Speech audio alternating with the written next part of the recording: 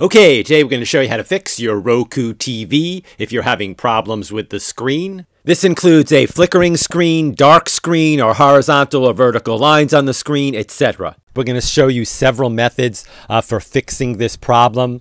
Um, if you stay with us all the way to the end of the video and try each of these methods, uh, there is a very high probability that uh, this problem will be solved for you. Okay, the first thing to try here is really the simplest, and in most cases, this one will actually work, so you might not even need to go on. Just basically unplug your TV from the wall, wait about 60 seconds, and then plug it back in. This will reset your TV. Now, this is a lot different than switching the remote on and off, so do do it from the wall plug. If this fixed your problem, great. If not, this next fix should almost definitely fix your problem. However, it is a factory reset and will reset your settings on your TV. Okay, I want you to look around your TV and see if you can find this little hole. It's usually labeled reset. To do the reset, I usually recommend bending a paper clip to fit in the reset hole.